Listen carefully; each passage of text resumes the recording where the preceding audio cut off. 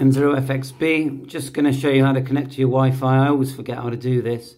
So you go menu, set, hit wireless LAN.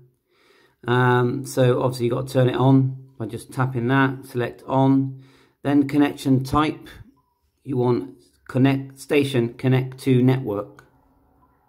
So go back, oops, connect to network, and then go connection settings. Um, let's go back.